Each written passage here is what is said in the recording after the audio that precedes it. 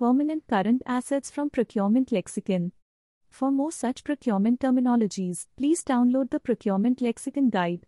The link is available in the description below. Permanent current assets refer to the portion of a company's current assets that are expected to remain relatively stable over the long term. These assets are essential for a company's day to day operations and are not intended for immediate conversion into cash or consumption.